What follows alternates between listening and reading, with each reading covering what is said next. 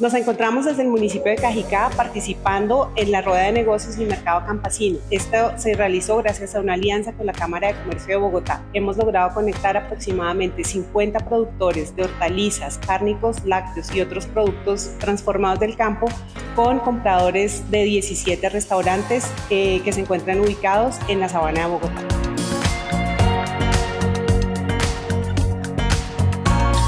Los saludo muy especialmente desde Cajicá, celebrando la realización de una rueda de negocios, un evento comercial con pequeños productores de la región central, con nuestro gran aliado, la RAPE de la región central, donde en conjunto hemos hecho un ejercicio de identificación de criterios de compra de unos compradores del canal Oreca, conectando principalmente con pequeños productores de esta región para lograr dinamizar su gestión comercial, oportunidades de venta de sus productos y así encadenar mucho más esta cadena de valor de la industria alimentaria y gastronómica que tiene nuestra ciudad y nuestra región.